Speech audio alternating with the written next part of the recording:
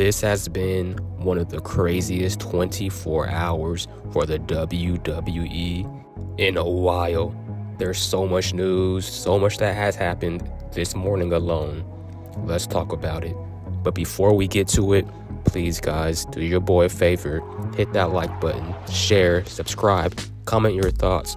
Help me grow my channel as I discuss WWE and WWE 2K news consistently. Now let's get to it. We begin with the breaking news of the day. Monday Night Raw has finally found its home. It's coming to Netflix. Starting in January 2025, Netflix will exclusively stream WWE Raw in the US, Canada, UK, and Latin America every single week all year long. The agreement between WWE and Netflix will be 10 years long in a $5 billion deal with an option for Netflix to extend for an additional 10 years and to opt out after the initial five years.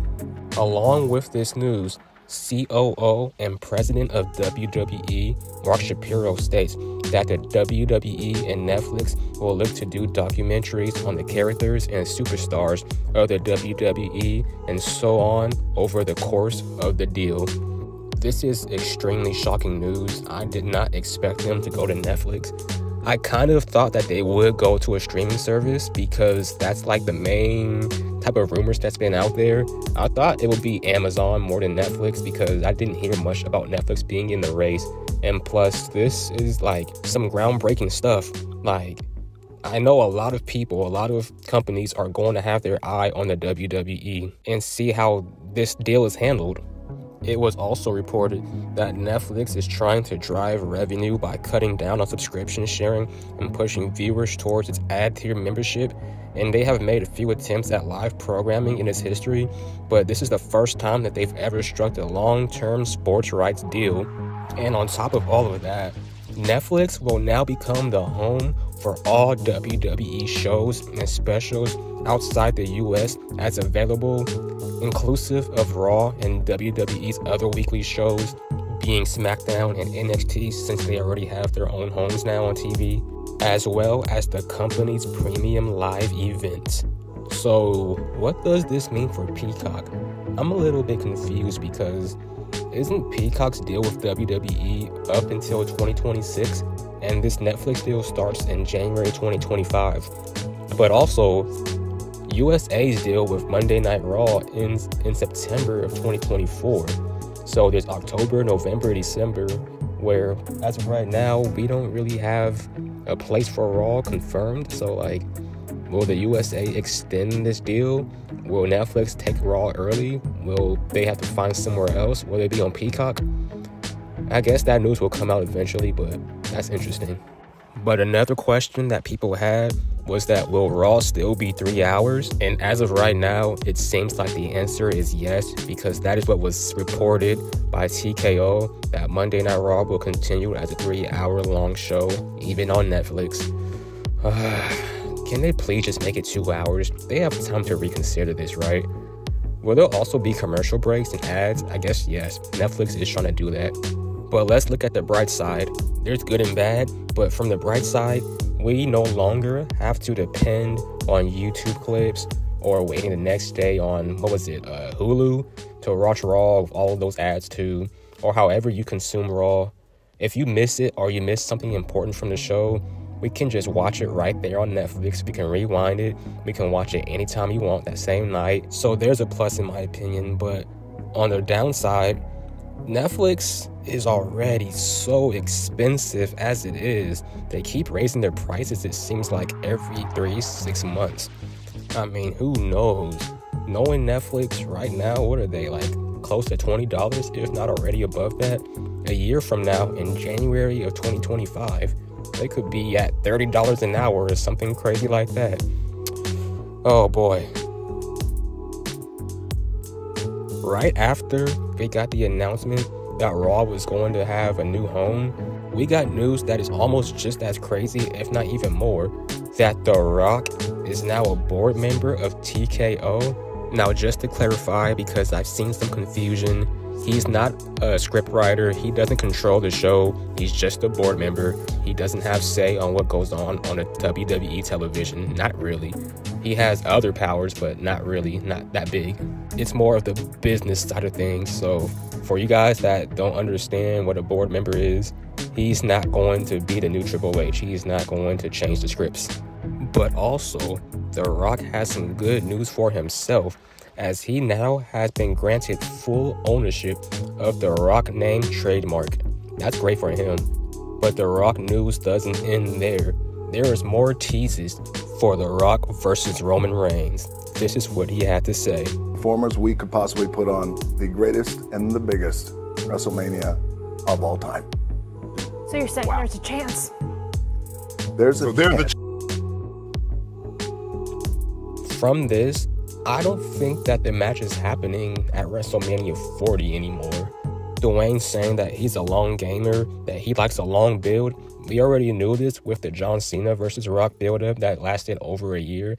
And I think that they're going to take the same route with The Rock versus Roman Reigns. I don't know how soon they're going to start this build, but I think it starts after WrestleMania. Whether Roman Reigns wins against Cody Rhodes or not, the battle will be for the title of tribal chief. So, like I said before in other videos, the title isn't necessary. It makes the match bigger, but it doesn't need the title. But The Rock saying there's a chance, I think that is going to happen as soon as WrestleMania 42 or possibly at a Saudi Arabia show later on in this year. Or maybe they'll have more than one match. Maybe it'll be like how Brock and Roman was a couple years ago, where they had that Saudi Arabia match, which led to their WrestleMania match. It could be something like that, but who knows? We will see. But the match is happening. Alongside with all of this crazy news, we also got near confirmation that Kazuchika Okada is WWE bound, potentially starting in NXT first. And I am not the biggest fan of this. I guess I'm not too against it, but he's a big name in the world of wrestling. Like, you can't put him in NXT now. Like, it barely made sense for them to do it for Shinsuke in what 2015 or 16. So for Okada in 2024 to go to NXT first, no, no, no. Put him on the main roster now. Put him on the biggest stage now. Debut him either at WrestleMania or the night after. Don't put him in NXT. Like, I'm not too against the idea. I get it. He's a draw. He will bring a lot of eyes to NXT. But I think he's just too big of a name at this point. So if he does go to NXT, then I don't see him being there for any more than six months at the most. Maybe not even past SummerSlam. Well, depending on when he debuts, but yeah. Here's a quick Monday Night Raw recap, breaking down the biggest things that happened last night. Starting off with Seth Rollins opening the show he came out limping. When he got to the ring and took his shades off, you could see the tears in his eyes. And he told us the sad news that he has suffered from a grade 2 tear of his MCL and a partially torn medial meniscus. He also confirms that he will be out for three to four months with surgery, or at least that's what the doctors told him. He confirms that the injury occurred when he attempted that springboard moonsault. We were all speculating for a week of when exactly the injury occurred, but yeah, that was the confirmation right there. Then Gunther interrupts him and he says that he is saddened to see that Seth Rollins is hurt and won't make it to WrestleMania. But then Seth says that he doesn't care what the doctors told him. He will rehab harder than ever. He will walk into WrestleMania with the title Gunther then says that if he wins the Royal Rumble match, he will choose Seth Rollins as his opponent and that he will target his knees, his back, and everything that is not 100%. Seth responds by saying, If you challenge me, if you win the Royal Rumble, remember who you're coming after. Mic drop. Gunther then says, You better remember who's coming after you. Then they shake hands and that's the end of their little promo. It's so crazy how many storylines we are getting leading up to the Royal Rumble match.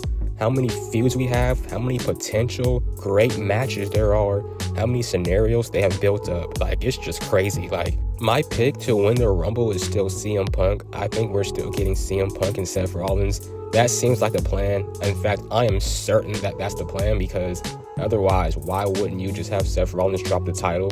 So, yeah, that is definitely the plan, but still, there's still a lot of interesting stories. They could still swerve us. Who knows? And speaking of CM Punk, the CM Punk and Cody Rhodes face to face did not disappoint. It was a pretty long segment, so I'm not going to break down everything, just the main points. And it opens up with Cody Rhodes saying his line, What do you want to talk about? CM Punk saying, I want to talk about your dad. And so they do. but yeah, this part of the promo was kind of boring. Like it opened up pretty slow. It was just going in circles, but then it picked up out of nowhere. They begin talking about the Royal Rumble match. Cody Rhodes says the obvious line that they always say, uh, there's no friends in the Royal Rumble match. CM Punk says, I know there's no friends in the Royal Rumble match. I've been in more of them than you have. But what about Sunday morning? Because I can separate business from personal.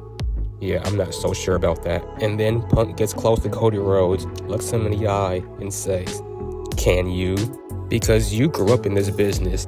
Personal to you is this business. I had to scratch and crawl to get to where I am. And later on, he says, We have two very different paths, but one very similar goal. I didn't have Dusty Rhodes as my father, my father was a regular guy, he was an electrician, which is ironic. I am more of the American dream than you are. And this is where things got heated.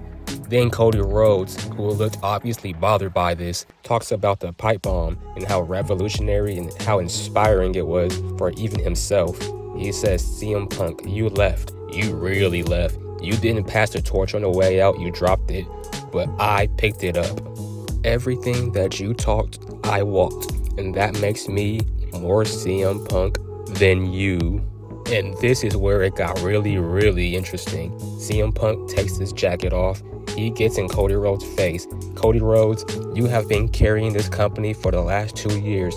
And right before you're about to cross that finish line and finish your story, what's that in the distance? A much bigger superstar that hasn't been here in a very, very long time, ready to take it all away from you. And I'm talking about The Rock. No, I'm just kidding. I'm talking about me. And Cody responds saying, There's only one direction I can go, and that's forward, and that's going through you. They both drop their mics, they get into each other's faces, the Royal Rumble is going to be special. And CM Punk is winning. Also on Raw, this happened. Yeah, you better stay away, stay far away from a wrestling ring. We don't want you, go away. But that is all of the news I have for you right now. It's been a crazy, crazy 24, 30, however many hours it's been. Today alone has been crazy. But let me know what you guys think in the comment section below. Please follow my social media accounts that are seen on the screen right now. Like, share, subscribe, comment below what you guys think. And you guys stay smooth.